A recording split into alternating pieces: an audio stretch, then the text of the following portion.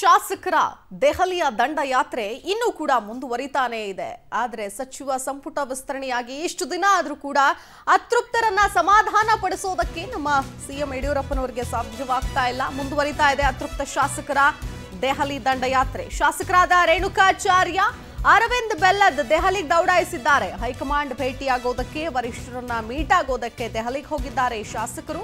Amit Shah warning ನಡುವೆಯೂ ದೆಹಲಿಗೆ ಪ್ರಯಾಣಿಸಿದ್ದಾರೆ. ಶಾಸಕರು ಅಮಿತ್ ಶಾ ಬಂದಿದ್ರು ರಾಜ್ಯಕ್ಕೆ, ವಾರ್ನ್ ಕೂಡ ಕೊಟ್ಟೋಗಿದ್ದಾರೆ.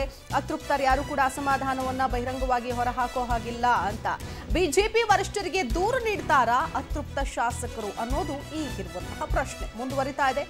ಅತೃಪ್ತ ಶಾಸಕರ ದೆಹಲಿಯ ದಂಡಯಾತ್ರೆ. ಶಾಸಕರಾದಂತಹ ರೇಣುಕಾಚಾರ್ಯ ಮತ್ತು ಅರವಿಂದ್ ಬೆಲ್ಲದ್ ಸದ್ಯ ದೆಹಲಿಗೆ ಹೋಗಿದ್ದಾರೆ. ಅಮಿತ್ ಶಾ ಎಚ್ಚರಿಕೆ ಕೊಟ್ಟಿದ್ರು. ಆದರೆ ಈ ಎಚ್ಚರಿಕೆಯ ನಡುವೆಯೂ ಕೂಡ ಸದ್ಯಕ್ಕೆ ಮತ್ತೆ ದೆಹಲಿಗೆ ಹೋಗಿದ್ದಾರೆ. ಸಮಸ್ಯೆಗಳನ್ನ ರಾಜ್ಯಾಧ್ಯಕ್ಷರ ಸಮ್ಮುಖದಲ್ಲಿ ಬಗೆಹರಿಸಿಕೊಳ್ಳಿ ಅಂತ ಹೇಳಿದ್ರು ಅಮಿತ್ ಶಾ. ಅಮಿತ್ ಶಾ ಅಷ್ಟು ಕ್ಲಿಯರ್ ಆಗಿ ಹೇಳಿಯೂ ಕೂಡ ಶಾಸಕರು ಮತ್ತೆ ಡೆಲ್ಲಿಗೆ ಹೋಗಿದ್ದಾರೆ. ಇಂದು ಅತೃಪ್ತ ಶಾಸಕರ ಭೇಟಿಗೆ ಅವಕಾಶ ನೀಡ್ತಾರಾ ವರಿಷ್ಠರು ಅನ್ನೋದು ಸದ್ಯಕ್ಕಿರೋ ಪ್ರಶ್ನೆ. ಯಾಕಂದ್ರೆ ಯಾರನ್ನು ಭೇಟಿ ಆಗ್ತಾರೆ ರೇಣುಕಾಚಾರ್ಯ ಮತ್ತೆ ಬೆಲ್ಲದ್. ಅಮಿತ್ ಶಾ ಎಚ್ಚರಿಕೆ ಕೊಟ್ಟು ಹೋಗಿದ್ದಾರೆ. ಮತ್ತೆ ಹೋಗಿ ಅಮಿತ್ ಶಾ ಅವ್ರನ್ನೇ ಭೇಟಿ ಆಗ್ತಾರಾ? ಇಲ್ಲ ಜೆ ಪಿ ನಡ್ಡಾ ಅವ್ರನ್ನ ಭೇಟಿ ಆಗ್ತಾರಾ? ಇಲ್ಲ ರಾಜ್ಯದ ಉಸ್ತುವಾರಿ ಅರುಣ್ ಸಿಂಗ್ ಅವ್ರನ್ನ ಭೇಟಿ ಆಗ್ತಾರಾ? ಸಮಸ್ಯೆಗಳನ್ನ ರಾಜ್ಯಾಧ್ಯಕ್ಷರ ಸಮ್ಮುಖದಲ್ಲಿ ಇಲ್ಲೇ ಬಗೆಹರಿಸ್ಕೊಳ್ಳಿ ಅಂತ ಹೇಳಿ ಹೋಗಿದ್ದಾರೆ ಅಮಿತ್ ಶಾ. ಇಷ್ಟಾದ್ರೂ ಕೂಡ ಮತ್ತೆ ದೆಹಲಿಗೆ ಹೋಗಿದ್ದಾರೆ ಅಂತಂದ್ರೆ, ಅವರು ಯಾರನ್ನ ಭೇಟಿ ಆಗ್ತಾರೆ? ಯಾರ ಹತ್ರ ತಮ್ಮ ಅತೃಪ್ತಿಯನ್ನ ತೋರ್ತಾರೆ? ಅಸಮಾಧಾನವನ್ನ ಹೊರಹಾಕ್ತಾರೆ? ನೋಡಿ ನಮ್ಗೆ ಈ ತರ ಅನ್ಯಾಯ ಆಗಿದೆ ಅಂತ. ಸೊ ಅದು ಈಗಿರುವಂತಹ ಬಹಳ ಪ್ರಮುಖವಾದಂತಹ ಪ್ರಶ್ನೆ.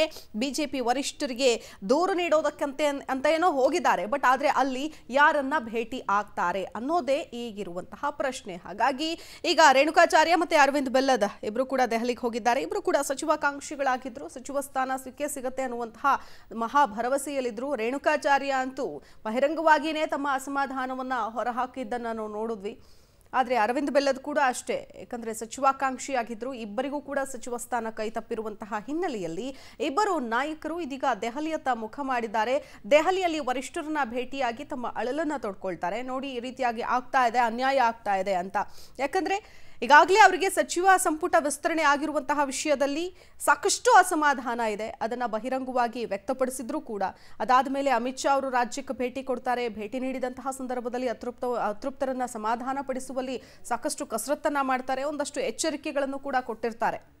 ಏನೇ ಸಮಸ್ಯೆಗಳಿದ್ರೂ ಕೂಡ ಇಲ್ಲೇ ಬಗೆಹರಿಸಿಕೊಳ್ಳಿ ಅನ್ನುವಂಥ ನಿಟ್ಟಿನಲ್ಲಿ ಜೊತೆಗೆ ಅಸಮಾಧಾನವನ್ನು ಬಹಿರಂಗವಾಗಿ ಎಲ್ಲೂ ಕೂಡ ಹೇಳಿಕೊಳ್ಬೇಡಿ ಅನ್ನುವಂಥ ನಿಟ್ಟಿನಲ್ಲಿ ಒಂದು ಎಚ್ಚರಿಕೆಯನ್ನು ಕೊಟ್ಟು ಹೋಗಿದ್ದಾರೆ. ಆದರೆ ಇದೆಲ್ಲದರ ಮಧ್ಯೆ ಮತ್ತೆ ರೇಣುಕಾಚಾರ್ಯ ಮತ್ತೆ ಅರವಿಂದ್ ಬೆಲ್ಲದೀಗ ದೆಹಲಿಗೆ ಹೋಗಿರೋದು ಸಾಕಷ್ಟು ಕುತೂಹಲಕ್ಕೆ ಎಡೆ ಮಾಡಿಕೊಟ್ಟಿದೆ ಯಾರನ್ನ ಭೇಟಿ ಆಗ್ತಾರೆ ಏನನ್ನ ಹೇಳ್ತಾರೆ ಅನ್ನೋದು.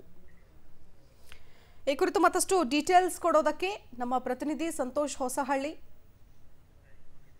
ದೂರವಾಣಿ ಸಂಪರ್ಕದಲ್ಲಿದ್ದಾರೆ. ಎಸ್ ಸಂತೋಷ್ ನಿಜಕ್ಕೂ ಈಗಾಗಲೇ ಅಮಿತ್ ಶಾ ಅವರು ರಾಜ್ಯಕ್ಕೆ ಪ್ರವಾಸ ಕೊಟ್ಟಂತಹ ಸಂದರ್ಭ ಭೇಟಿ ಕೊಟ್ಟಂತಹ ಸಂದರ್ಭದಲ್ಲಿ ಒಂದು ಎಚ್ಚರಿಕೆ ಕೊಟ್ಟಿದ್ದಾರೆ. ಏನೇ ಇದ್ರೂ ಕೂಡ ಇಲ್ಲೇ ಬಗೆಹರಿಸ್ಕೊಳ್ಳಿ ಅಂತ.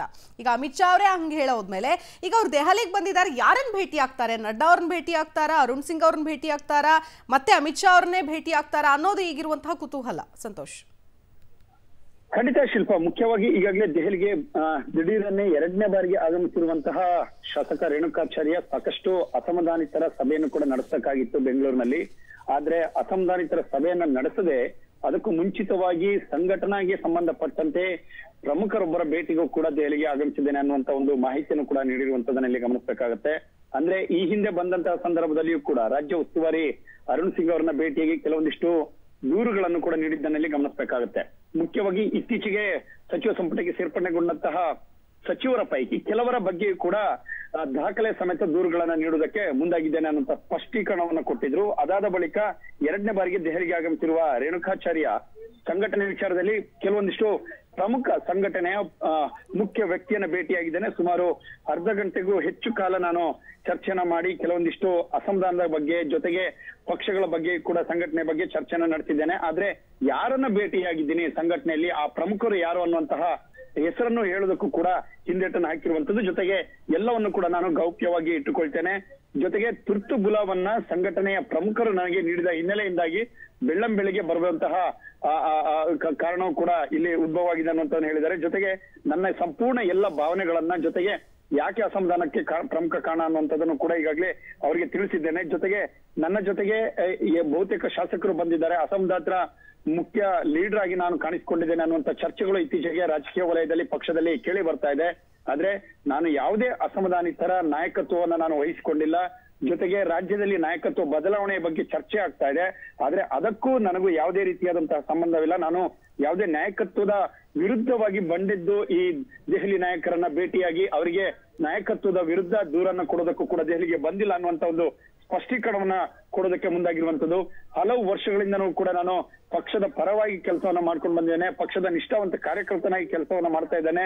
ಜೊತೆಗೆ ಅಸಮಾಧಾನಿತನೇನಿದ್ದಾರೆ ಸುಮಾರು ಎಂಟರಿಂದ ಹತ್ತು ಜನ ಅಸಮಾಧಾನಿತ ಶಾಸಕರೇನಿದ್ದಾರೆ ಸಚಿವ ಸ್ಥಾನ ಸಿಗದಂತಹ ಹಿನ್ನೆಲೆಯಿಂದಾಗಿ.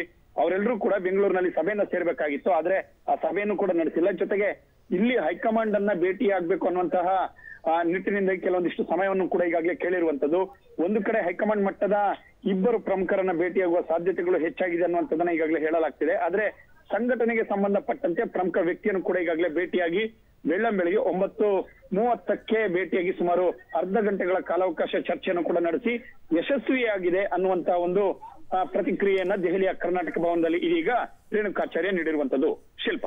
Thank you Santosh ಡೀಟೇಲ್ಸ್ಗಾಗಿ